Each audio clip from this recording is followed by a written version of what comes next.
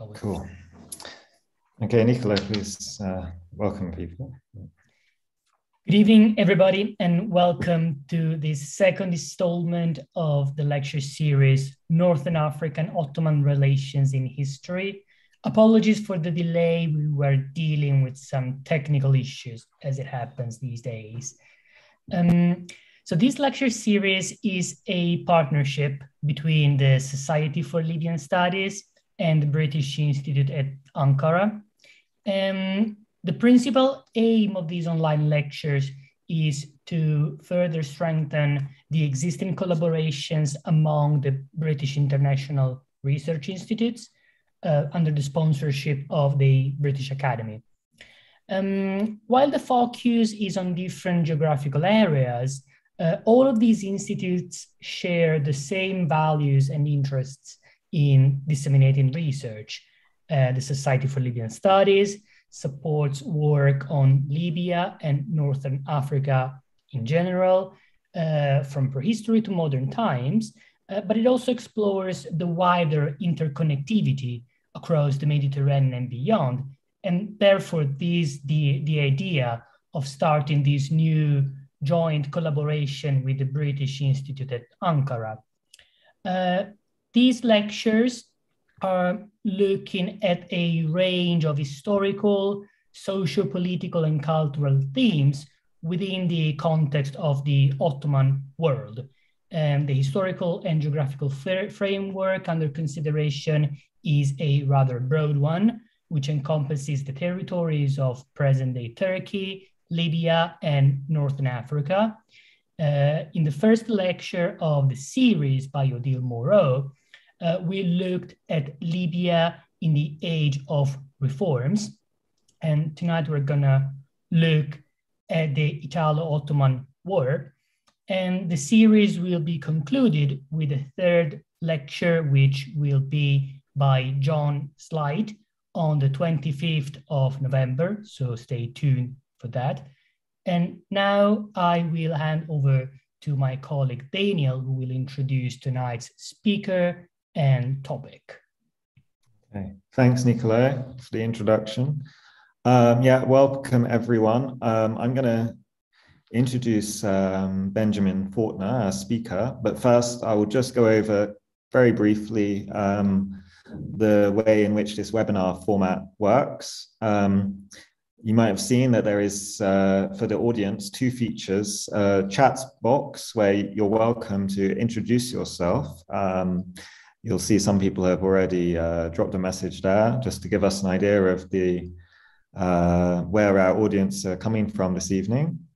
Um, there is also a Q&A box and, and if you do have a question either during the lecture or or for the, after, uh, use the Q&A button to leave your question and we'll make sure to get um, to as many of those questions as possible within our time constraints uh, for Benjamin to answer. So, uh, yes, as mentioned, this is the second lecture, and I think picks up very nicely from the uh, what we heard from Odile Moreau last month um, on the 19th century and early 20th century history of Ottoman uh, is, or Ottoman Libya. Um, Benjamin Fortna um, is professor and director of the School of Middle Eastern and North African Studies at the University of Arizona. And for many years, he was also professor in the history of Middle East at, the School of Oriental and African Studies, part of the University of London it's from then that our connection with uh, Benjamin Fortna uh, originates, where he was briefly on the British Institute at Ankara's um, council. Um, and we try and keep in touch and keep collaborating despite his uh, having moved over to the United States now. Um, he's published on a wide variety of subjects in late Ottoman history. Um, childhood is the topic of one of his books learning to read um, and literacy in the Ottoman Empire and Republic is the topic of another. Uh, he's currently working on a project on multilingualism in the Ottoman Empire. Uh, but his connection to the topic of this evening is, uh, is his work on um, Eshref Bey, uh, who I'm sure we'll be hearing more about. Um, that was published in a book titled The Circassian, A Life of Eshref Bey, Late Ottoman Insurgent and Special Agent, published by Hurst and Oxford University Press in 2016. And as I'm sure you're all aware, we'll tonight be listening to his lecture on the Ottoman Italian War of 1911 to 1912. Um, over to you, Benjamin. Thanks. Thank you very much, Daniel, and, and thank you, Nicolo. And um, it's a very kind introduction, Daniel. It's a pleasure to be back uh, in association with the BIAA and, and for the first time for me, the Society for Libyan Studies. So it's a pleasure to be with you. Uh, particular thanks to uh, our colleague Odile Moreau for her excellent lecture last time. I won't be able to live up to it, but it but she does um, place us in, in, a, in a very nice uh, context for the, for this evening's talk. So I, I, I thank her uh, for that. I enjoyed her lecture very much uh, the last time. So as I say, um, I'm, I'm not a North Africanist. I'm not a historian of Libya. Um, as Daniel indicated, I, I sort of followed a, a late Ottoman character, uh, emphasis on the word character, uh, Kuşçubaşı Eşref, uh, to, to uh, Trablusgarp, to um, the region we're talking about today uh, during this war in, in 1911. Uh, and so my interest in, in, the Ottoman side of things uh, stems from that uh, earlier work. Um, in this presentation, I'll rely on some of the material. Uh, I've been trying to distance myself a little bit from that earlier project um, that, that, that uh, appeared in Eshref's remarkable trunk of papers, but also add to it with some other uh, materials. I've had the pleasure in preparing for this uh, talk to revisit some, some sources I was familiar with from my earlier work, but also discovering quite happily some, some newer material. Uh, in particular, the, um, the military history of the Ottomans by Mesut Uyar and uh, Edward Erickson, uh, an excellent PhD dissertation from the UCLA from UCLA by Jonathan McCollum called "The Anti-Colonial Empire" about this conflict, and most recently, uh, a, a, book I was completely unaware of uh, by Pierre Schill uh, in, in, from France on uh, the, the um, called uh, Réveiller l'Archive.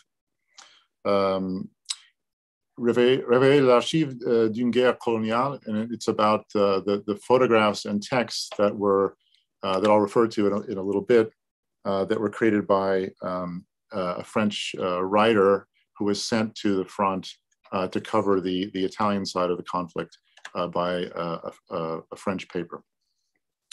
Um, a, a, brief word on, on terminology. Um, I'm well aware that it's anachronistic in this period that we're talking about this evening to talk about Libya. Uh, on the other hand, um, it's quite convenient to use uh, fewer syllables than many. It's, correctly speaking, we would talk about the Italo-Ottoman War for Tripolitania, uh, it's a little bit of a handful. And Tripolitania also doesn't cover the full extent. It, it, we're, we're, talking, of course, about uh, the Ottoman province of, of Trablusgarp, Tripolitania, but also the Sanjak um, of uh, Benghazi, uh, which is usually referred in the, in the West as uh. Um, so because of this sort of use of geographical synecdoche, referring to a, a part of the territory to denote the whole, uh, we have this uh, uh, sort of terminological confusion. But um, it's similar in a way to the situation we encounter in late Ottoman Iraq, where we don't, there is no such thing as, as Ottoman Iraq, generally speaking. There are three conferences, three, three uh, um, vilayets that become uh, later on uh, the country of Iraq, but it's, it's much easier, of course, to refer to it that way. So uh, please understand what if I do slip in and use the word Libya, it's uh, it's just for for um, purposes of of of, um, of, convenience. Now, let me try at, at first to uh, advance the yeah, and the delay is entirely my fault and due to my uh, incompetence with respect to. Uh, now my slides are not advancing. Mm okay. There we go. Okay, so um, I will um, first try to sort of set out a little bit of the context for this uh, this conflict very briefly because Odile's done a, a, such an excellent job of setting it up for us. Um, but some of you, I realize, weren't at the last lecture. A very cursory look at the Italian side of things. Um, Italy uh, demonstrated a very long-standing attempt to secure what it called Libya for, for itself, using a variety of diplomatic and, and economic means. Um, in, as early as 1887, it secured German recognition of Italian interests uh, in, in the region. Uh, by 1902, both, both France and Great Britain had agreed to safeguard Italian interests there. And later, uh, it, it, won the same, um, same uh, agreement from Russia and Austria-Hungary. So it was very carefully setting about uh, an eventual uh, move on the territory. As a result, uh, popular opinion in Italy began to develop perhaps an overly optimistic assessment of how future Italian rule uh, would be received by the local population. And the event that, that precipitated uh, the, the, um, decision to um, announce an ultimatum and then eventually invade the territory came in 1911, the Agadir crisis, when Germany sent a warship to Morocco to test, test uh, French resolve there accelerating Italian uh, planning for Libya. There was a fear of sort of that another power might swoop in and, and, and take uh, the former Roman imperial uh, territory. Uh, so Italy began to make a number of complaints to the Ottoman Empire about uh, the way its, its citizens were being treated in the province. And we can see generally a, a, an escalation of, of claims and demands. Um, and Britain uh, made clear, very clear, its sympathy for Italy in the event of any conflict. So the Ottomans knew that they were uh, increasingly in, in a difficult uh, situation. When the Ottoman uh, military decided to try to shore up the um, troops it had in Libya, which had been depleted when many of them were sent to fight uh, in Yemen against the revolt there, um, Italy reacted with the ultimatum the, the Ottoman response was, was relatively conciliatory, but not sufficiently so to constitute the response that Rome was demanding. Um, from the Ottoman side of things, uh, it was clear that uh, the, the, the, the, Committee of Union and Progress, the CUP government that had come to power sort of behind the scenes after the revolution of 1908, um, despite all their anti-imperial rhetoric, they were sufficiently pragmatic to realize that the Ottoman government needed European or great power support if it were to survive. Thus, somewhat ironically, they began to initially to follow the policy of their defeated predecessor, Sultan Abdulhamid II, about whom uh, Odile uh, spoke to us last time, um, playing up the strategic advantage of the empire's role in the Muslim world and the symbolic position of the caliphate as a practical necessity, they, they supported an alliance with Britain while continuing to strengthen ties with Germany as a kind of leverage. But events would make an alliance with Britain impossible. The Ottoman Empire, of course, would be drawn closer to Germany and Austria-Hungary. Um, but in the meantime, uh, the Ottoman Empire's role vis-a-vis -vis the Muslim world took a more clearly anti-imperialist direction, as we'll, as, we'll discover later on. And the, the Trablusgarb War, this uh, Italo-Ottoman conflict in, in Libya, uh, was, I think, an important uh, event in the development of this trend. As I said, the Committee of Union Progress came to power in 1908, um, acted, ruled first uh, from behind the scenes.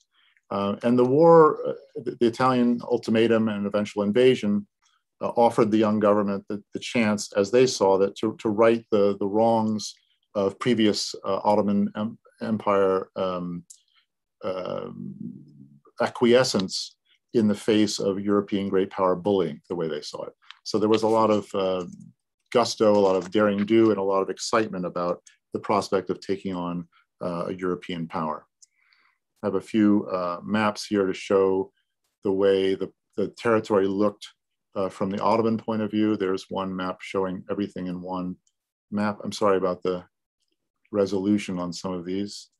Uh, and there's uh, the province of uh, Tripoli and the Sanjak of, of uh, Benghazi. Cyrenaica, basically. Mm. Unfortunately, the conflict came for the Ottomans at, at, perhaps the worst possible time. The Ottoman military was in the early stages of a major reorganization uh, commenced in 1909, designed to rationalize the military along German lines. Uh, this was organized by Ahmet Izzet Pasha, a protege of, of the German Marshal uh, von der Goltz. The idea was to remove some of the practices associated with their predecessor, uh, Abdulhamid II, and otherwise modernize the army. Um, I won't go into the details of all the, the, the, the, restructuring, but it was a major effort and, and one that uh, meant that the, the empire was, was uh, hardly ready for a, a, major conflict. The timing, in other words, couldn't have been worse for the Ottomans to, to engage in any new war. While the Ottoman military was at this vulnerable moment, um, in which, according to Uyar and Erickson, the old the pillars of the old order had been destroyed while the new ones were unready to carry the whole system it now had to face not one, but two conflicts in succession. And then, of course, a third and ultimately fatal fight. In the last lecture, uh, Odile Moreau did an excellent job of laying out, setting out the scene. The Ottoman uh, presence in Libya changes in 1901, 1902, military reforms, end of the draft exemption, uh, the um, creation of a census, construction of the ports, and also of explaining uh, the importance of the Sanusiya uh, order, its expansion, its trans-Saharan dimension, and the succession to the leadership of the order of Ahmed al-Sharif, uh, Sayyid Ahmed al-Sharif in 1902, and the uh, support between uh, of Ahmed al-Sharif and the Sanusiya from Istanbul, um, represented by the, uh, the sending of weapons uh, which were stored in, in Darna, Derne, according to the Ottomans, uh, which would become an important uh, center uh, when the war broke out. Uh, by the 1890s, we see the appearance of the Italian project for uh, what, the, what Rome called Libya, um, echoing the, the, the imperial Roman name, and also the beginning of local enforcement, the reinforcement of the Ottoman Senussi ties, as was mentioned, um, and at the same time, uh, the, the, the long-running uh, Franco-Senussi War uh, in the, to the south. Um, when, as a result of the ultimatum I mentioned earlier, when the war broke out, um, uh, it was the, the, everything happened really quickly. Uh, war was hastily declared on September 29th, 1911. Uh, the city of, of Tobruk fell on the 4th of October and Tripoli on the 5th. The first group of Ottoman officers arrived in the middle of, 19, of October 1911, but continued to appear well into 1912. And of course, the, the problem for the Ottomans was that uh, given the uh, Italian naval dominance uh, at sea, uh, officers could only sneak into Libya, either through Egypt, which was uh, problematic because of uh, British control, or through Tunisia, equally problematic because of the French, because the French and British had declared neutrality and were bent on keeping uh, Ottoman uh, troops and materiel uh, out of the conflict zone. It was inconceivable for the Ottomans to send large numbers of forces, so it was essentially a skeletal officer corps that began to be assembled uh, in the, the um, in the territory. The key figure from the Ottoman point of view was Major Ismail Enver. Um, here he is in, in a couple years before the conflict uh, commenced, and he set up his quarters at uh, Ain al uh, sorry at Ain al Mansur uh, near Darna. Um, after uh, Benghazi had been uh, occupied by Italian forces. Enver was, of course, the charismatic hero, or one of the heroes of the 1908 revolution.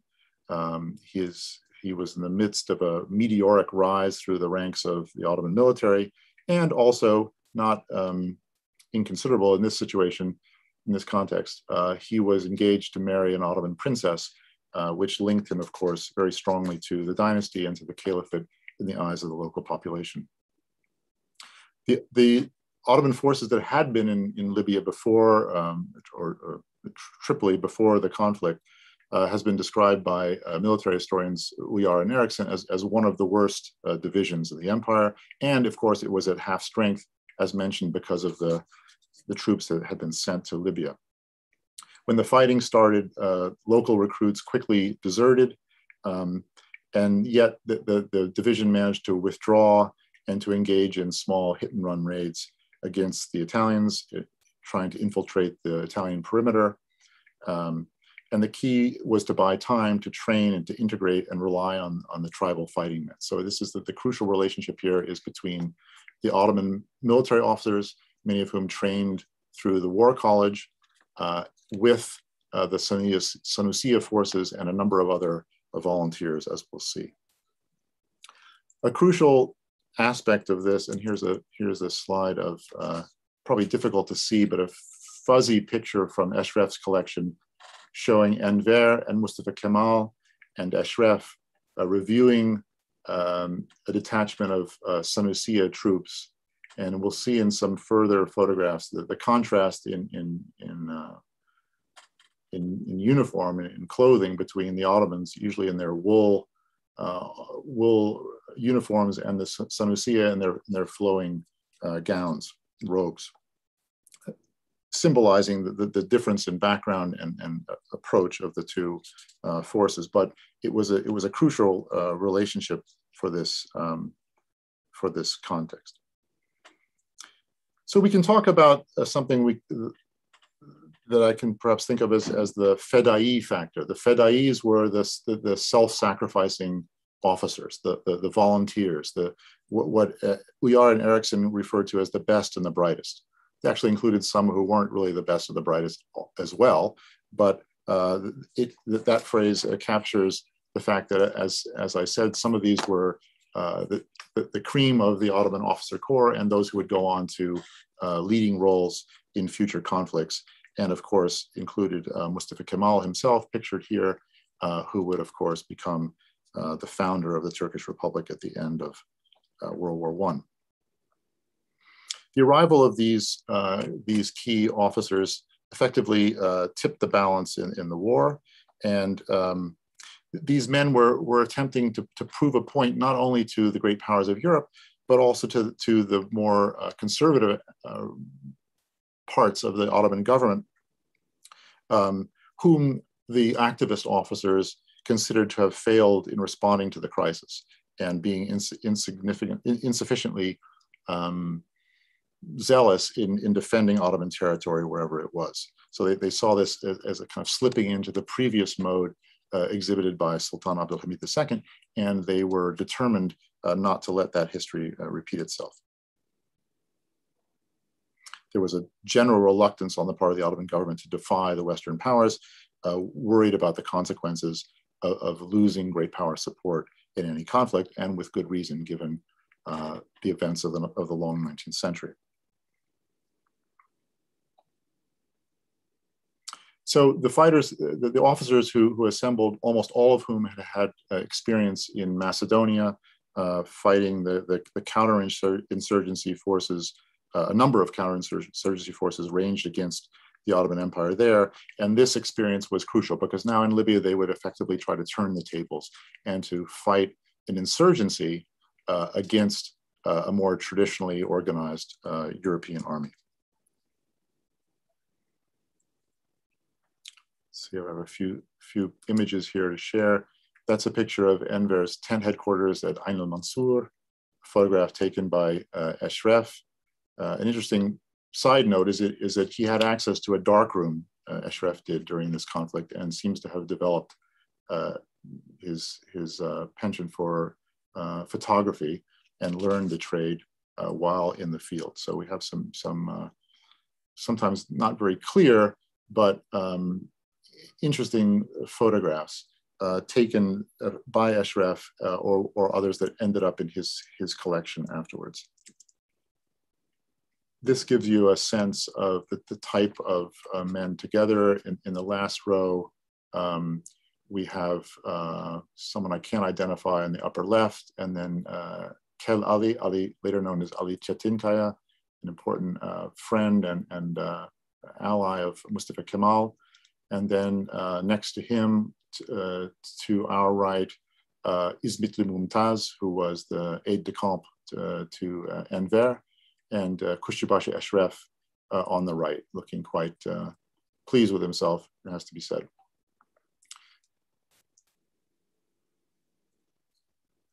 Uh, also, uh, as mentioned, uh, Mustafa Kemal, uh, who traveled to the conflict um, alongside uh, some people he, he later tried to um, dis dis disengage himself from, including the, this figure of Yaqub Jamil, who was in some ways the wildest of the, of the young Turk Fedai officers. And he here we see a picture of him in, in uh, shooting the Ottoman uh, Grand Vizier in the, in the coup d'etat uh, from a few years uh, later. So the, the, the, Ottoman officers who assembled in, in, mm-hmm. in Libya, let's say, included a, a, fascinating group of characters who all many of whom played significant roles in, in subsequent uh, conflicts and in the emergence of, um, in, in, the Balkan Wars, in World War One, and in many cases in the emergence of the Turkish Republic afterwards. Some went on, especially the Arab officers among them, went on to play important roles in Arab states uh, after the fall of the Ottoman Empire, including in Egypt and most particularly in, in Iraq. Uh, so we have a number of key figures, including uh, Yassin al-Hashimi, Jafar al-Askari, Nuri Said, um, and um, as well as uh, someone like uh, Fawzi who, who, who, led the resistance against the British uh, in Palestine. Um, so we have Enver, as I've said, uh, Suleiman Askeri, who would go on to form and lead uh, the, um, the special organization, the Teshkilat Mahsusa, that uh, Odile referred to last time. Um, Enver's younger brother, Nuri, um, Mumtaz, whom I mentioned, uh, Mustafa Kemal, of course, Ali Fethi Okyar, uh, Ali Chetinkaya, and uh, a number of others. Aziz Ali al-Misri, so-called the Egyptian, um, the poet and propagandist for the CUP, Ömer Naci, Eshref, as we've mentioned, and uh, people like ya Yaqub Jamil and Sapancalı Hakkı, uh, a very high percentage of, of Circassians, typical of the ranks of the Fedai or the Teshkilat Mahsusa officers uh, after that organization was founded uh, after the Balkan Wars. So we can actually say that they were, in some ways, yes, the best and the brightest, but also some perhaps just the most gung ho. There's some evidence of a kind of haphazard military organization which is perhaps the reason that Suleiman Askeri was sent uh, by Enver to, to uh, Libya to try to reorganize uh, the situation. Um, but there he uh, clashed with other officers, perhaps because he was trying to, to uh, install, instill a kind of um, discipline that had been lacking in the early days of the conflict. And uh, as I'll come to in a minute, there are a number of feuds that, that originate from this time period between this key group of officers. getting to the front was a major challenge for many of these of these officers, given uh, the problems uh, of, of um, British and French control of Egypt and uh, Libya, the neighboring territories, respectively. Um, but I've, we've come across a number of accounts that, that detail that the struggle and the obstacles that uh, a number of these officers overcame um, Suleiman Askari, for example, and a group of officers traveled all the way from Baghdad. We have a good account of that. It appears in, in papers. Um, and uh, we also have uh, a portion of Suleiman Askari's diaries from his showing his trip or detailing his trip from the western desert of Egypt across into Libya, uh, complete with uh, Eshref's editorial comments because he uh, found the, the papers and, and, and edited them and presented and transcribed them later on. Um, the, the, over, the obstacles overcome by some of these officers included the opposition of senior Ottoman officials who didn't really want uh, the, the Ottoman Empire to get involved in this conflict. Uh, questions of finance, and of course, as mentioned, the, the, the British uh, and French opposition to their, uh, their traveling there. Some of them went incognito, and here we can see a group uh, in the western desert uh, of, of, Egypt, uh, dressed up as, as Muslim seminary students. and this picture includes a number of people I'll referring to later on, including Sheikh Saleh Sharif, the Tunisian notable and, and alim, um, as well as uh, one of the sons of uh, Abdul Qadir al Jazairi, the, the, hero of the uh, Algerian resistance to the French. From the perspective of these uh, Fedai officers, the war in Trablus Garb was a cause, a real mission. Apart from the ongoing and seemingly endless counterinsurgency that they had uh, encountered in Macedonia, the Tripolitanian War represented the first clear-cut chance to invoke this activist stance I, I referred to, to discard the passive style of the previous regime of Abdulhamid II, which they had criticized so fiercely in opposition, and of course to take on a European power. Tactically, they were eager to turn the tables and adopt the tactics, tactics of, of insurgency that had been deployed so effectively against them as the sort of Ottoman sitting ducks in, in, in Macedonia. Um, and to do so, uh, so they're adopting the the the the, the, the, the tactics of, of insurgency uh, uh, was was a was a welcome uh, and and um, uh, sort of long-standing wish of, of some of these officers, and to do so not simply in defense of Ottoman lands, but for the sake of the broader Muslim world, and that's a point we'll we'll come to um, in, in a bit. So there was a battle not just not just in the field, but also a battle for public opinion that was really crucial to this, uh, to this conflict.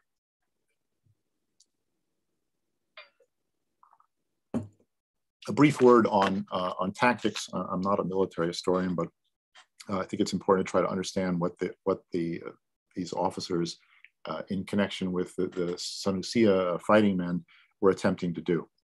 They were organized, they organized themselves as sort of mission-oriented units, you could say, combining regular soldiers, uh, gendarmerie forces, volunteers, tribal warriors, under the command of regular officers from Istanbul, many of whom, of course, were graduates of the Ottoman Staff College, modeled on the German system. Their aim was to fight an asymmetric war of attrition and not to try to take and hold territory. In fact, the, their major losses from the Ottoman side in this conflict came when they tried to hold territory and abandon briefly uh, this, this sort of tactical plan. They planned on a long conflict in which morale would become a or perhaps the key uh, factor. They set out to frustrate the Italians, who, of course, were expecting a relatively easy time. Some have said it, they referred to it as a, a military uh, parade, uh, uh, a cakewalk, we might say. I think the Niccolo can, can correct me, but I think the term I've read is uh, passeggiata militare. So they expected a, a quick um, and, and, sort of triumphal uh, conquest of the territory uh, and did not expect the, the, the stiff resistance that, um, that they faced. And to a certain extent, until they later changed tactics, the Italians, at least initially, played into their hands. They presented long columns of infantry, uh, taking advantage of the fact that they had huge superiority in numbers. And these became easy targets for the hit and run attacks, the skirmishes, the ambushes, and attempts to lure the invaders into the deep desert valleys, the wadis of, uh, of the uh, interior. At times, whole columns were dispersed, set upon, and, and driven into pieces and destroyed. There were night raids, there was uh, infiltration of picket lines, the hunting of isolated sentries, and the seizure of arms from Italian uh, uh, depots and further degrading uh, Italian morale in the process. The frustrated Italian uh, troops uh, sometimes took to, and here, let me move the slides along.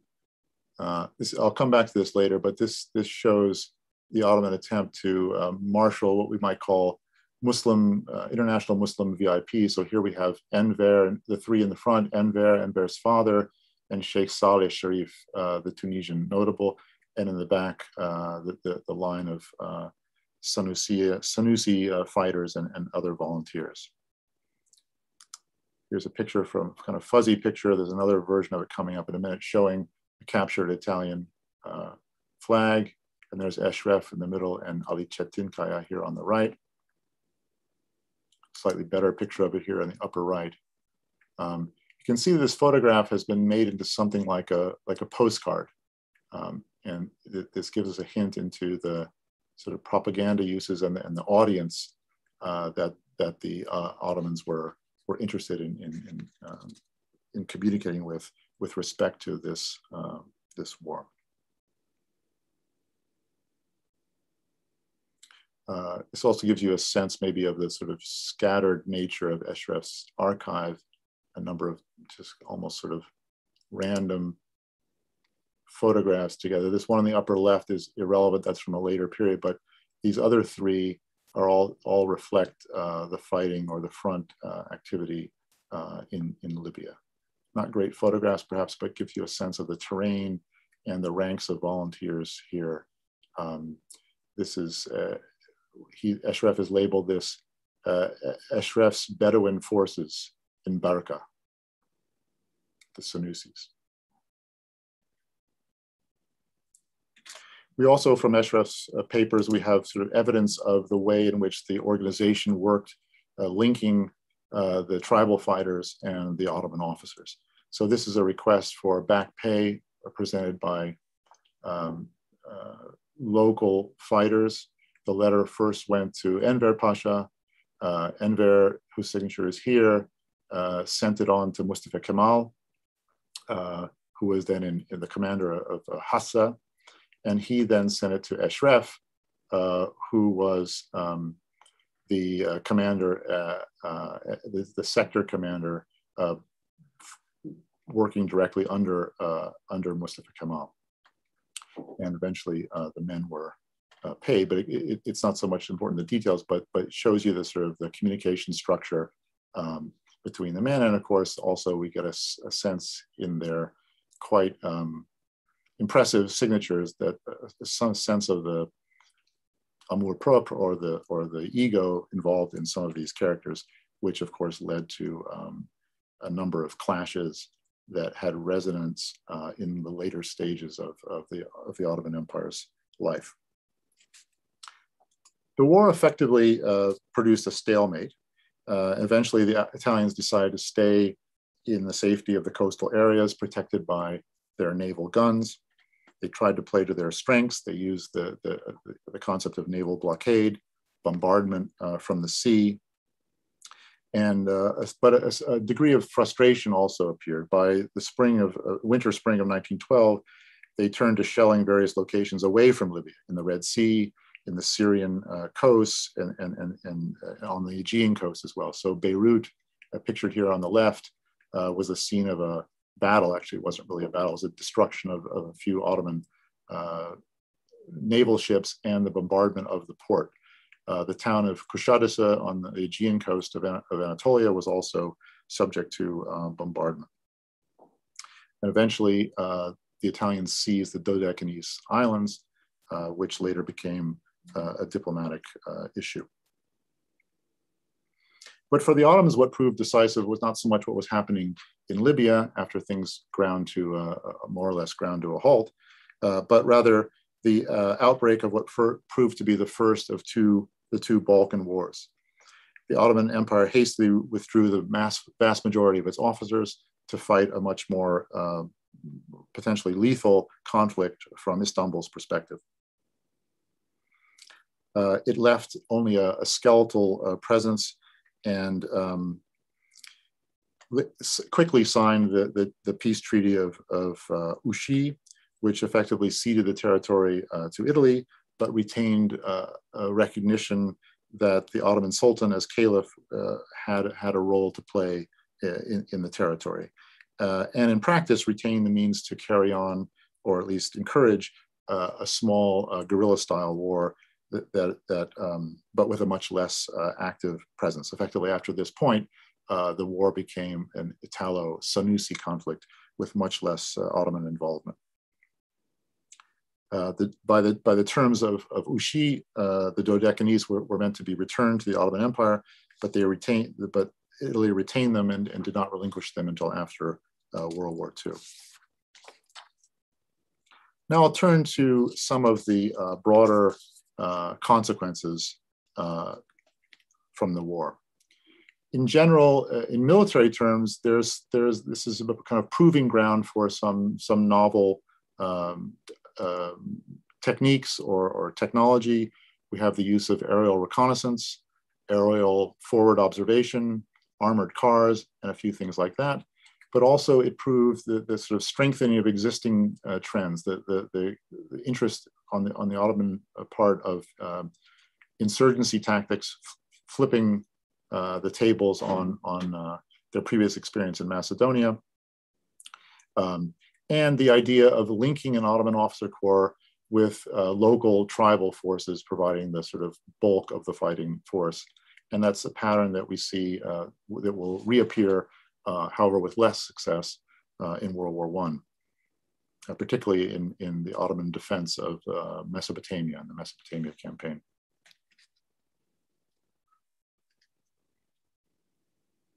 So in, in, in Libya, the, the Ottomans were effectively trying to emulate the insurgents they had been fighting in Macedonia. Uh, but uh, as I said, as I mentioned before, th th there were these problems of, of rivalries and feuding and, and um, bad blood between some of the officers. So we have uh, tensions that developed between Mustafa Kemal and Enver, for example, which reached even the, the ears of the Grand Vizier in 1913. Um, a, a, problem between Aziz Ali al-Masri and Enver, which eventually was presumably instrumental in Ali, Aziz Ali's defecting to the Arab nationalist cause in World War I or even before World War I, and a feud between uh, Suleiman Askari and Aziz Ali. As, uh, as my colleague Talha Çiçek nicely put it, although these were known as the Unionist officers, they were anything but united. Riven by rivalries, cliques, jealousies, and egos, they were a quarrelsome lot. And yet in this war, they exhibited a fair degree of organization and discipline. This was the first of a number of conflicts in which the network of activist officers would form, the, who would later go on to form the Teshkilat Mahsusa. Um, and the, the, the, the, successes that they registered in, in Italy, against Italy in, in, Libya, seem to have encouraged Enver to constitute that force uh, later on. So we could see as a kind of experiment or a kind of laboratory for the campaigns to, to come. It, first of all, of course, the Balkan Wars, and then interestingly, after the Balkan Wars, the, the brief episode of the, uh, the independent um, government of Western Thrace that the Ottomans set up as a kind of bargaining chip at the end of the Second Balkan War. In World War I, of course, and in the, in the Turkish War of Independence um, after 1919. This was, of course, a long and often ugly period of violence, deprivation, ethnic cleansing, and worse, in which the Teshkilatu Mahsusa eventually would play an outside, outsized but often sinister role. The war in Libya, however, left a kind of abiding impression that having achieved something important against a European power, the Ottoman military was, was, on, was destined for greater things. The idea that the war, which had appeared utterly hopeless at first from an Ottoman perspective, had turned into something very close to a success against the Italians was, they thought, surely the sign of more to come. This proved a persistent, if overly optimistic, line of thought, and one which affected further CUP decision making in the years ahead. The feeling that a potential and rare victory and needed victory from the Ottoman perspective had been snatched from them by the timing of the outbreak of the Balkan Wars was a feeling that, that was only, only, added to, only added to the bellicose thinking of the Unionists, often with disastrous results. Ottoman officers training and fighting and working closely with local tribal forces seemed to be a winning combination. Also extremely, an extremely cost efficient one uh, for the depleted army, Ottoman army facing conflicts over a wide geographical area. So that, that's not an inconsiderate uh, aspect of this whole thing, sending a, a, a, relatively skeletal corps of officers to uh, work with a much broader uh, fighting force supplied locally, many of, of which were volunteers, was of course uh, very, very handy for the fiscal aspect of the conflict. The war can be seen as a significant moment in what, the, what was emerging to be an increasingly important battle for international public opinion. The vehicle for this was the coverage in the press and increasingly photographs, as, as we've seen. Embedded correspondence uh, uh, are, are rife in this, in this uh, on, the, on the edges, fringes of this conflict, as also was the idea or the issue of bias or, or partisan reporting. European observers received extremely mixed messages about the conflict, uh, provided by a fairly large number of foreign correspondents covering the war, most of whom adopted a remarkably partisan uh, approach to the fighting. And, and some of these, uh, some of these uh, reporters, and we have the example from on the English side of Ernest Bennett, uh, the former MP and war correspondent who had covered the Boer War, for example, um, uh, adopted a, a, kind of almost sporting, jolly, humorous approach to the conflict, as if war journalism was a kind of adventure.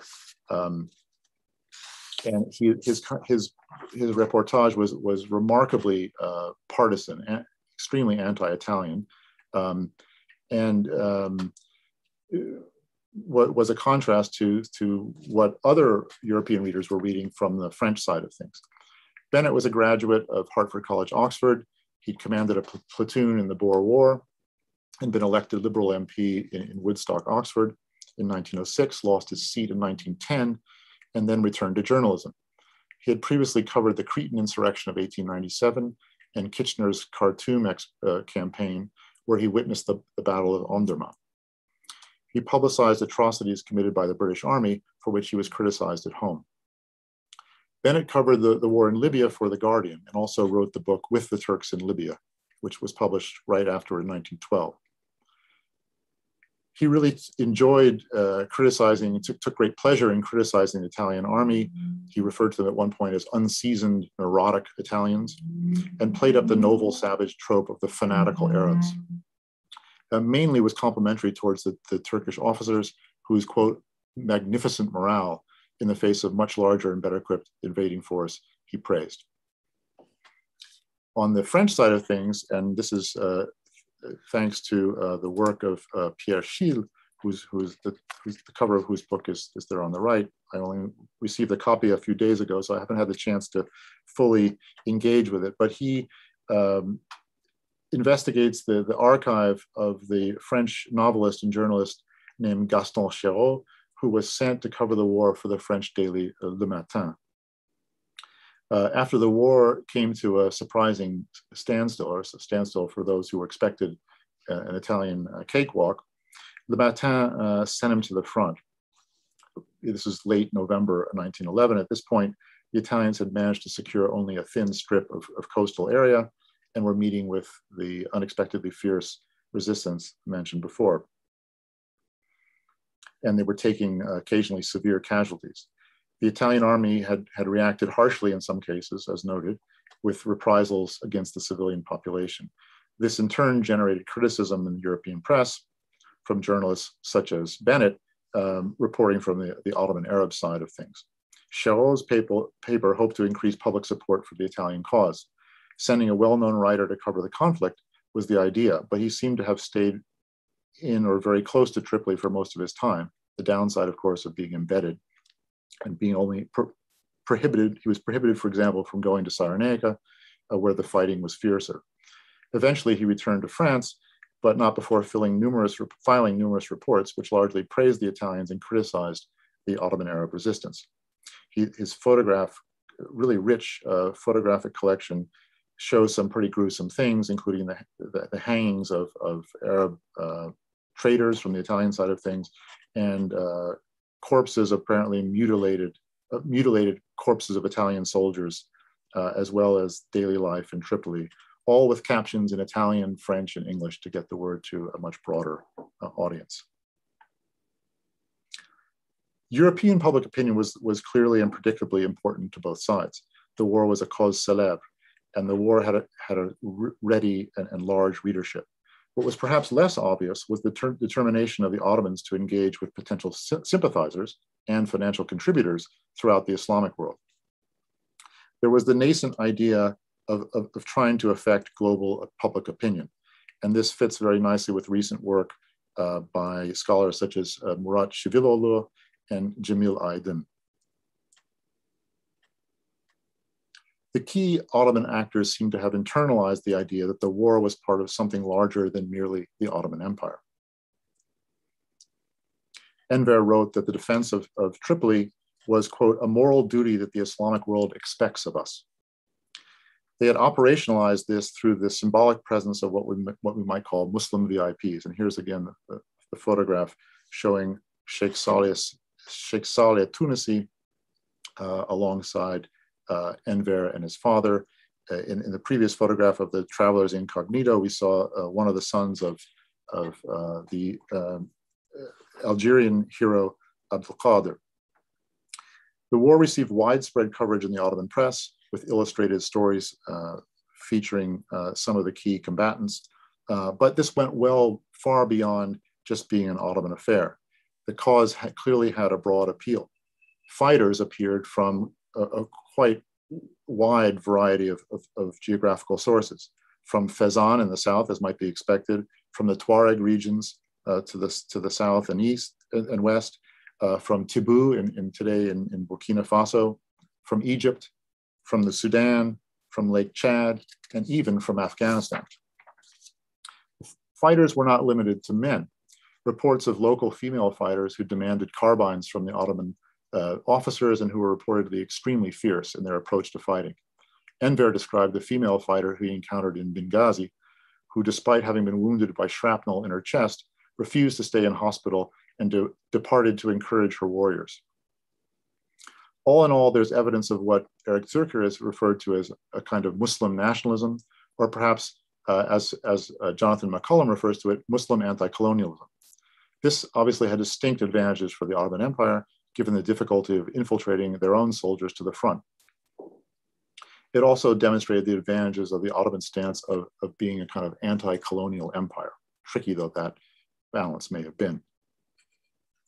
McCollum, for example, is excellent on the operations of the Ottoman Red Crescent, especially good on the ways that the Ottomans uh, used humanitarian aid to further uh, the war effort. But let's, in, in, in what the time that's left, I'd like to briefly explore what was going on in two other regions uh, of, of the Muslim world, namely Egypt and then India in uh, here's here's a close up of Sheikh Saleh Sharif, who was acted as a kind of key Ottoman uh, figure, and then of course, as Odile told us last time, uh, went on to play a supporting role in the Turkish War of, Pen War of Independence in the uh, so-called uh, Kuvayi Milliye period.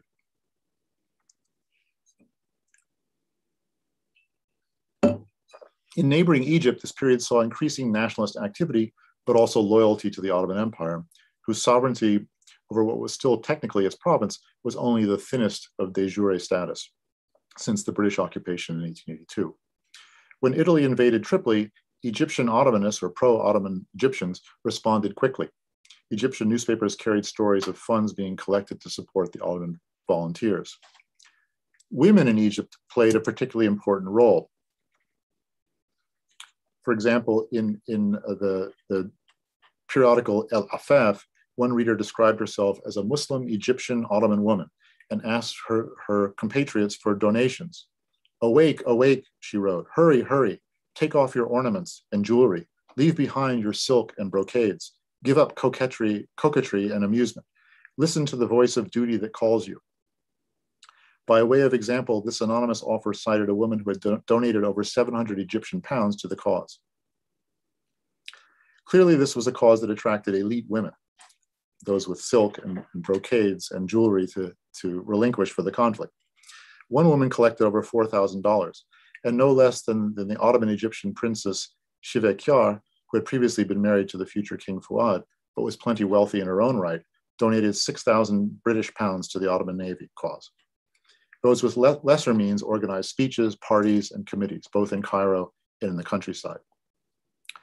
But nowhere was this, did the success of the Ottoman cause appear more than in, in India, British ruled India. Their widespread and sustained interest in responses to the conflict came from across the continent. Muslim Indians expressed support for the Ottoman Empire and indignation with and condemnation for what they called shameless Italy's brigandage. There was popular unrest, followed by meetings in Calcutta, at Lucknow, and at Madras. There was a boycott of Italian goods, with successes reported in Bengal, the United Provinces, and the, and the Punjab. Requests for London to interfere, interfere on the Ottomans' behalf also appeared, somewhat uncomfortably for uh, the British government. There was tremendous solidarity with and fundraising for the Ottoman Red Crescent Society. Contributions, large and small, including some from children, some of whom were reported to be mimicking the Turks and fighting the Italians in their play, poured in. Students at the Anglo uh, Anglo Oriental College, which had been founded by Syed Ahmed Khan, forsook their weekly favorite dish of pilau zarde and saved the money they would have spent in returning home to their families in order to contribute to the War Relief Fund. There was, generally speaking, pressuring of, of the British government, despite its quote unquote neutrality, to uh, encourage, um, but, but these were met only by British resistance or demurral. The war had interesting effects locally in India, including the reconciliation of traditional ulama and Western educated Muslims in India, both uh, uh, who came, both of whom, both of which groups came together uh, because of the war, and the, the, perception that it was part of a sort of broader global threat uh, to Muslims worldwide. So the politicization of some of the ulama in India, previous which previously had been relatively quietist, uh, was was a new political problem for HMG to deal with uh, in its uh, key overseas province or possession. The politicization of the students at Aligarh, up, up till then relatively um, apolitical, who engaged in secret meetings and speeches focusing on the worldwide plight of the Muslims, uh, unsettled the, the British uh, rulers in, in India. And they were now worried, they now refer to the school as a quote, a hotbed of sedition and, and worried about the coalescing of a Hindu Muslim alliance against British rule. The press agitated against, against the war, and despite the Restrictive Press Act of, of 1910, articles calling attention to, quote, shameless European expansionist designs and attacks of Christianity on Islam appeared regularly. A number of periodicals saw their circulation rise from four to five times. This pre presented the British uh, rule with, with serious problems uh, in, in its prime colonial possession, as I said.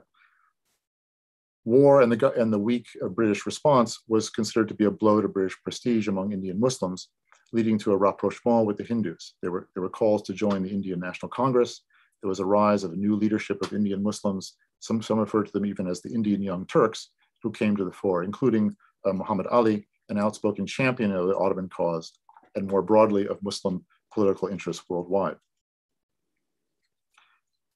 we can say that in a way, this the, the fighting in, in Libya and the attention it received around the world paved the way for a broad-based pan-Islamic movement, which was well organized and was very uncomfortable uh, for the British, among others.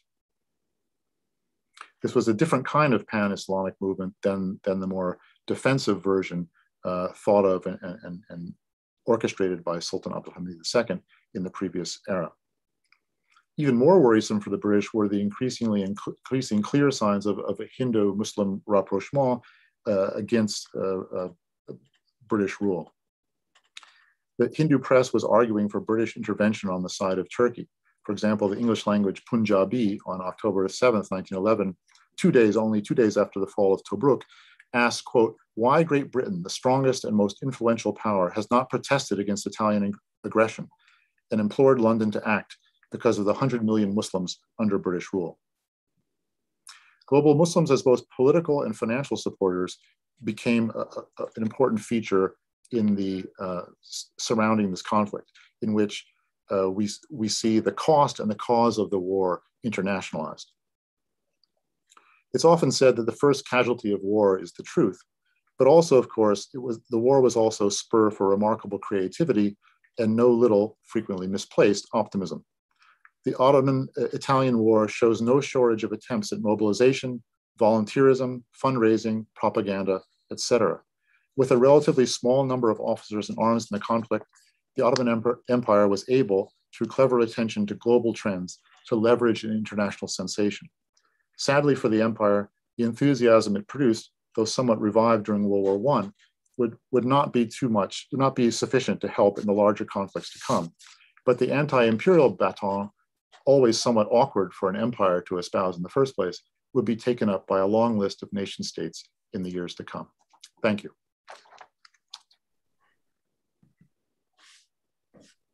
Thanks so much. Um, that was a really excellent lecture, and I see that there's already several questions um, queued up, which I'll get to soon. Um, I'll just remind everyone that yeah, it's much better if you put your questions in the Q and A rather than in the chat where we might miss them. Um, and that uh, anyone who has to disappear now or or later can uh, watch this again on our YouTube channel. Um, so I think um, I will I'll start um, with the first question we received, which is from um, Ian Lowell, um, who writes, and I quote here. It's interesting that there was a flexibility in the execution of this conflict on the side of the Ottoman officers. Why was this experience and understanding not employed against the British in World War One? Question. And maybe uh, we could add here if there was if you came across any relation between the strategy pursued in in Libya and what the Ottomans hoped to um, achieve in in Egypt if they had been successful in bridging the Suez Canal. Hmm. Yes. Okay. Well, thanks. For, for to uh, Ian Lowell's question, I mean, it, one can see examples of the Ottomans attempting to uh, employ this kind of flexibility or this kind of flexible approach in World War One. The problem was it didn't come off very well. So uh, Suleiman Askeri, who was uh, crucial in the in the uh, to the Ottoman uh, defense of Libya, uh, was sent to Iraq in, in the Mesopotamia during World War One, and tried to do the same thing with the Iraqi tribes. Um, and he died in the process. Uh, and the, the, the essentially the, the, the tribal forces uh, in Iraq, um, perhaps because they were facing a very different army in the British Army, perhaps because there was not much less time to organize, or perhaps because of the tribes themselves and their relation to the Ottoman Empire. Um, whatever the, the, combination of factors was, we, we see nothing like the, the, the stiff resistance that uh, the Senussi Ottoman combination produced, in Libya, but it was not for a lack of trying. So, um, but it was it was spectacularly unsuccessful. So the big success that the Ottomans um, achieve in the Mesopotamian campaign, namely the arrest of, uh, I mean, the, the capture of uh, General Townshend and his army, uh, is mainly because not because of the tribal levies, but because of uh, more more standard tactics. And one has to say, a blunder on the part of Townshend in retreating to what was effectively a peninsula, uh, river peninsula, which effectively allowed his troops to be surrounded. So what was, uh, uh, what was the second part, um, Daniel, the, about the, uh, oh, that yeah. was just my addition, whether, whether they perhaps, whether they hope for something similar in Egypt when they sent this very small um, force to try and breach the canal. Yeah, I mean, it's, it's, it's on, I my view is that this it was unlikely actually that the Ottomans expected um, that attack to actually succeed or for them to to, to capture um, uh, Egypt. The the only real hope was if if the Egyptian people had risen up uh, mm-hmm. en masse and and had um, you know attacked the, the, the British occupying forces from behind, uh, but that's certainly didn't happen. Um, but what the attack on the canal did was to tie up huge numbers of, of, of forces from elsewhere in the empire, especially from, um, from Australia and New Zealand uh, in Egypt because they because of the attack, the British command knew that they might have to defend uh, the Egypt itself as, as opposed to just being merely a way station for troops moving towards the European theaters. So mm in, in some sense, it was a success in that it, it tied down uh, numbers of large numbers of troops that could have been sent elsewhere. Mm. Okay. Um, okay, our next question from Fatma Soraya Guven. Uh, she writes, and I'm quoting here, what would be the benefit uh, of reminding of such history for today?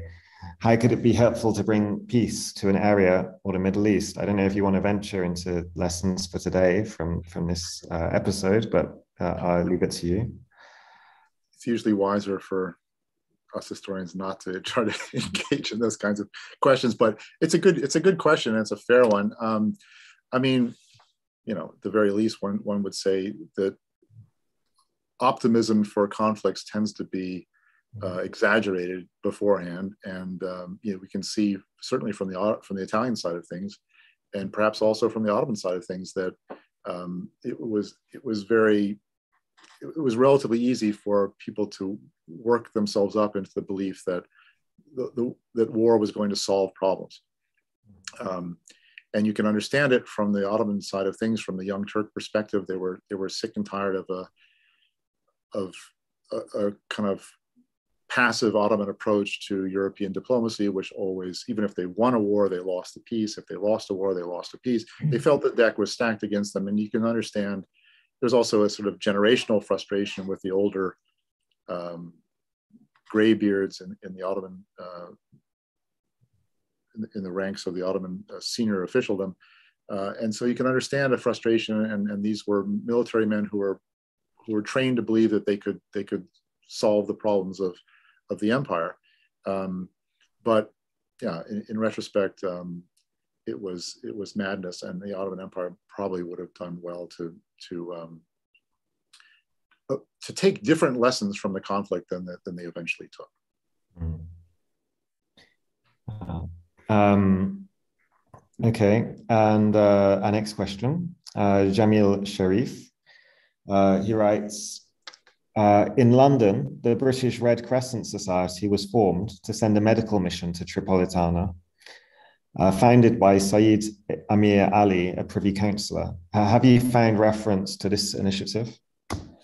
That's really interesting. Th- thanks for bringing that up. I, I, haven't actually, and I, but but I have a, a, read uh, references to the sort of absence of uh, of just that sort of British military medical mission for example, um, Bennett's uh, in Bennett's writing, he says, you know, why he he talks about the the excellence of the uh, the German medical mission, and he says, why couldn't the the British have done the same thing, and and why? And it would have been of of huge sort of um, propaganda value, if nothing else, for the British, given the number of uh, worldwide Muslims who were focused on the conflict. But I so I would be very curious to know what happened uh, with that that whole uh, attempt and and if they actually did send something to Libya, but I haven't seen anything to suggest that a mission actually materialized during the conflict. Yeah. If I'm not mis- misremembering, I think that Saeed Amir Ali was part of the um, delegation from British India at the League of Nations that kind of advocated against the dismemberment of the Ottoman Empire to such an extent the peace conferences. So it's obviously like a long running engagement he had. Um, okay, our next question. This is a long one from Keti uh, Ianantuwono. I'm really sorry about the name. Um, my pronunciation, that is, not your, your having it. Uh, she says, uh, or I assume it's a she, sorry. Uh, they say, Thank you for this highly interesting talk. I would like to ask a question about propaganda and ideological narratives constructed around the conflict. In Italian propaganda, the, Italio, the Italo-Ottoman War was largely advertised and justified through a striking appropriation of ancient Roman culture. For example, in a notorious Italian poster advertising the war, an Italian soldier is shown while taking up a Roman gladium, the sword, from the skeleton of an ancient Roman soldier laying on a North African shore. The telling motto, Ritorneremo, we will bring back, appeared on this poster as well. I was wondering if you encountered any response to this Italian rhetoric in Ottoman and or international accounts of the conflict. Uh, and they add, thank you again for your talk and thank you for your attention. I should have let Nicolo ask that one. we give him pronunciation. Anyway, so. No, I think it's a good one actually because it takes us back to well the conversation Ben and I were having before the the talk. Uh, so it's a very interesting one. It is indeed. I, I mean, I, and I don't know about the Italian side of things, but um, I don't, to answer the, the specific question, I don't see any evidence, direct evidence of the Italians, of the Ottomans trying to uh, sort of count, use counter propaganda against the sort of classicizing motif of, uh, of the Italian propaganda effort. Uh, but certainly some of the, the uh, journalists embedded with the Ottoman Arab forces uh, were particularly critical and scathing of uh, the comparisons between the prowess of Italian or, or Roman imperial arms and the current uh, Italian descendants. I mean, so that they, they drew a huge contrast between, uh, you know, the, the, the, the military successes of the Roman Empire and in their view, the complete uh, lack thereof uh, on, in, in the current uh, situation. But I haven't seen any, any actual Ottoman uh, responses. Okay. Um, yeah, Said, uh, sorry, on the question of um, Said Amir Ali, uh, Jamil Sharif adds, just for interest, that apparently there's a, it's well documented in his memoirs, this his activities during the Libya conflict. Okay. Okay. Um, okay, the next question is from uh, Russell McGuirk, who writes Enver's brother Nuri and Jafar al Askari did, in fact, form a similar arrangement in Silesia and the Western Desert in 1915 16. And maybe I can just say that the Sanusia's um, incursion into Egypt and that British um, counterinsurgency or, or or campaign against them is going to be the subject of the lecture in one month's time. So perhaps that will be discussed um, on the 25th of November. But uh, you're welcome to to add anything about that, Benjamin. Um, just very briefly, uh, know, th- thanks to Russell McGuirk for, for bringing that up. Yes, uh, the Ottomans, you know, as I said, there was they left behind a kind of skeletal force, and this was um, instrumental in sort of keeping the, the, the conflict rumbling along, but uh, obviously with much less uh, Ottoman involvement than before, just in, in, in numerical terms, um, because of the, the need to, to bring almost everyone back to fight the, the Balkan Wars. But yes, the, the, the um, Ottoman role continued. And of course, um, uh, as uh, Odile knows very well, that the, the Teshkilat Mahsusa was was involved all across uh, North Africa and and uh, and you know in, in much further uh, flung areas, including Iran during the war. So um, yeah, plenty of plenty of uh, interest on the Ottoman side in in in using these kind of what we might call low grade conflicts and keeping them alive.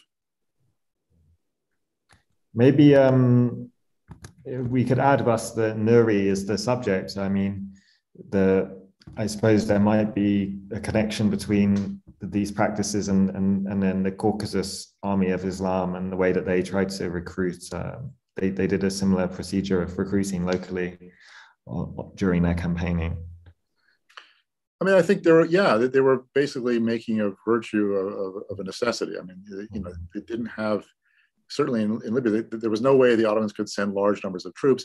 In those other conflicts, also, there was no way of, of sending large numbers of troops. So they had to kind of, in, in recruitment terms, they effectively had to live off the land and, and recruit locally and rely on their networks, which were extensive. Uh, but which did not always lead to the kinds of successes that I mean, in some ways, you could say maybe the, the their companion their their relationship with the, the, the Sanusia effectively spoiled them because no one else really fought like uh, they they would expect the the Sanusia you know to do, and and they never again recaptured that same kind of winning combination.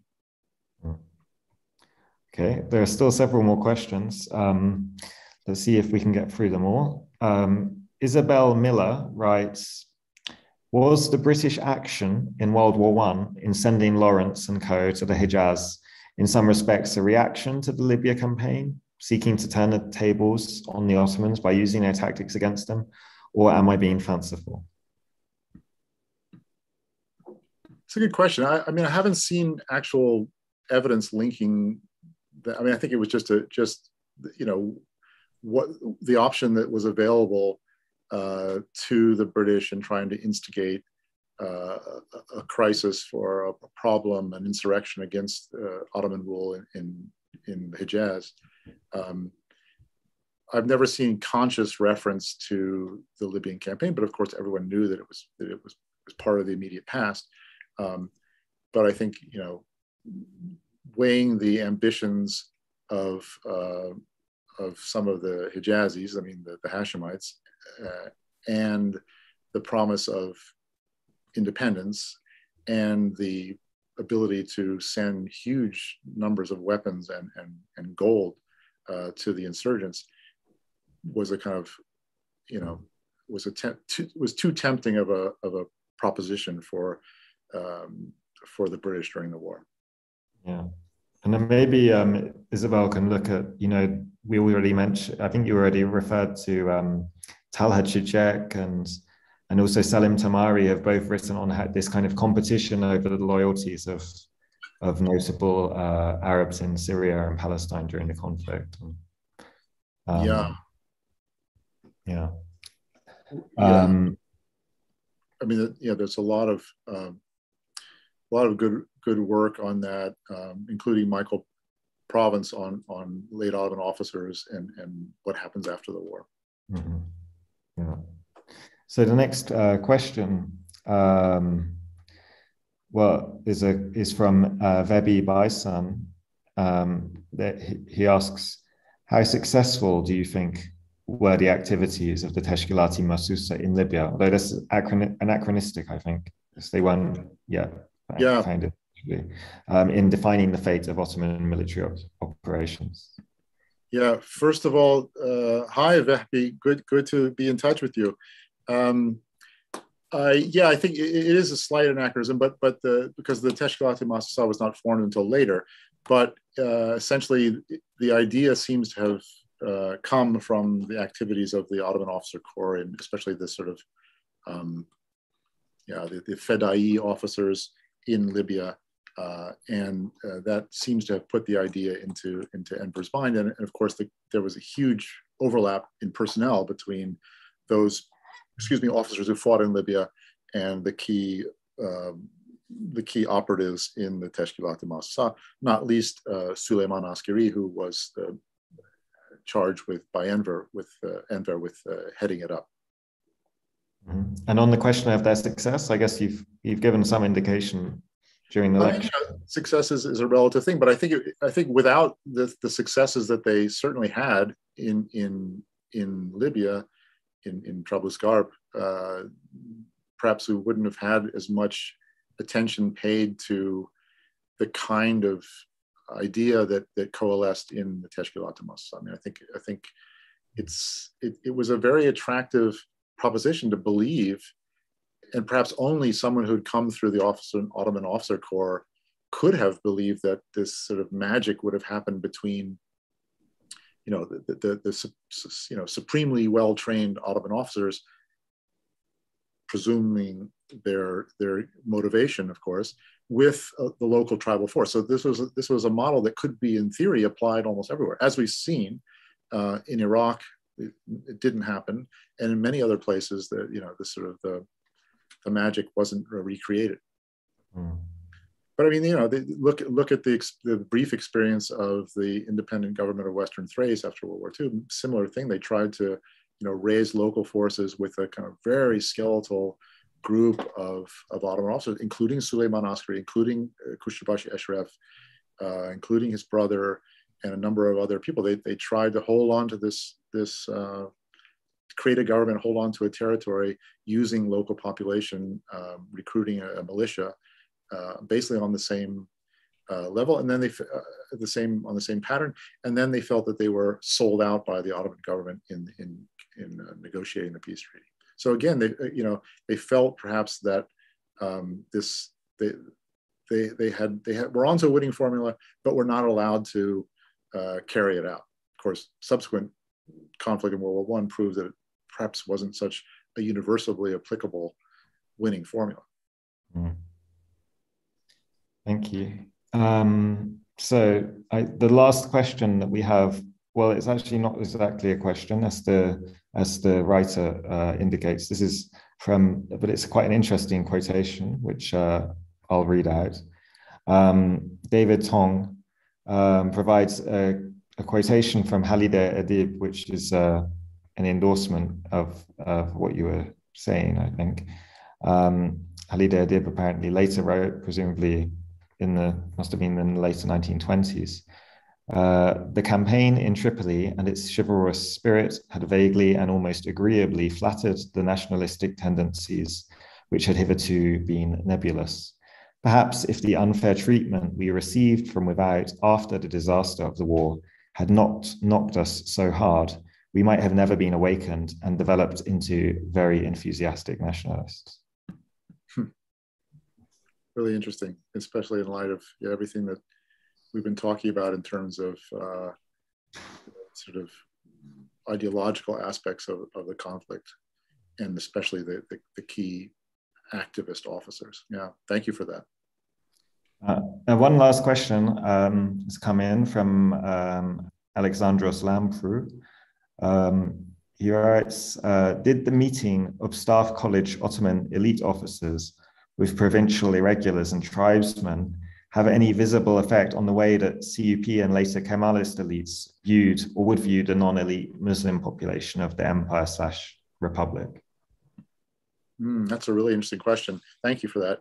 Uh, I mean, my initial reaction would be that it it it, it was of a piece and, and and also reinforced the idea that um, you know the, the the elite officers had the proper solutions. They only needed was was time um, and opportunity to implement them. And of course, we know from the work of uh, Shukru and others that that uh, they these officers uh, educated in the, in the elite military schools of the empire had developed had had, had latched on to selective works, political works, um, sociological works in, in Europe that played into or flattered, as, as, as you, this questioner says, uh, their sort of elitist uh, ideas and, and reinforced the idea that it was, in fact, the military elite who, who, who should and would uh, lead, lead the country forward, whether it was the empire or uh, effectively the same people uh, having shed uh, a number of um, personalities but essentially the same type of people who, who effectively established the, the Turkish Republic. Okay. Um, okay, thanks. Um, I think that we better leave it there as it's officially our cutoff. But um, maybe Nicolo has a, a question or a comment for, for Ben or the audience. Well, I mean, I'd like to thank Ben again for this wonderful uh, lecture. I think it was fascinating and extremely informative. And I mean, there would be so many things to discuss. Uh, again, looking back at the propaganda which was used during the colonial, uh, the Italian colonial period, and especially the differences between Tripolitania and Cyrenaica, and how um, the one in, in Tripolitania was actually supported by the archaeological evidence in the view of the Italians at the time, while in Cyrenaica we had something different. So it would be fascinating to explore also these differences in uh, the Libyan society at the time, whether there was any reflection of that. But these, I, I fear, would be actually a topic for a different talk. And a different talker. Yeah. Yeah, well, maybe you can uh, move your research in that direction, Nicolo. Um, but thanks, thanks, Nicolo, and and of course, thanks so much, uh, Ben, for this uh, really great lecture. Um, I think it's uh, you know we're we're we're kind of really lucky to have such great speakers in this series, and that will continue next month, as mentioned. Um, thanks everyone for coming and asking questions and uh, uh, and uh, and being here. Um, and I look forward to seeing you at the next one. Okay, thanks. See you the next one.